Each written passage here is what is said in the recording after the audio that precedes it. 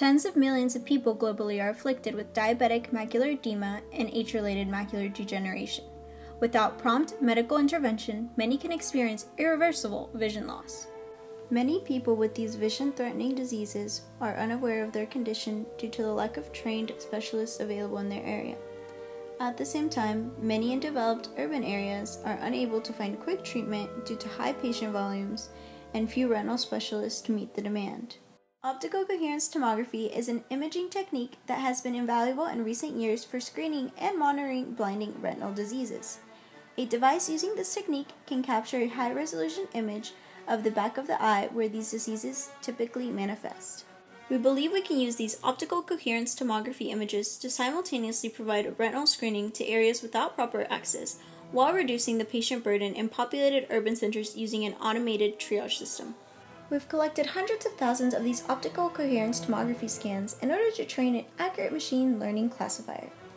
In order to test the applicability of our classifier to other medical images, we also collected several thousand chest x rays for detecting bacterial and viral pneumonia, since pneumonia is the world's leading killer of children under 5.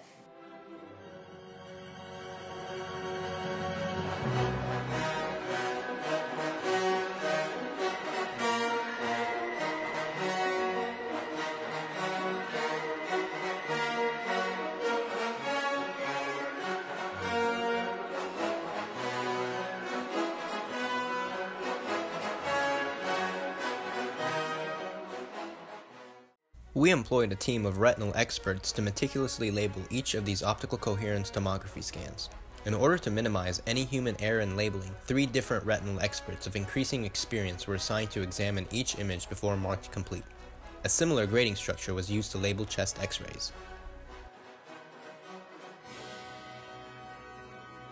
After the large database was accurately labeled, the team constructed a deep convolutional neural network to train using a transfer learning algorithm that helps the network learn faster by adapting weights pre-trained on a different dataset.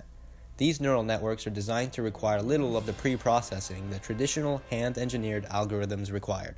Simply, neural networks use their learned weights to predict a classification for an input image.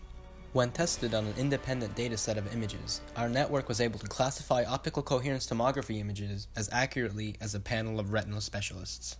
Similarly, our network trained on chest x-rays was able to detect pneumonia at a high accuracy.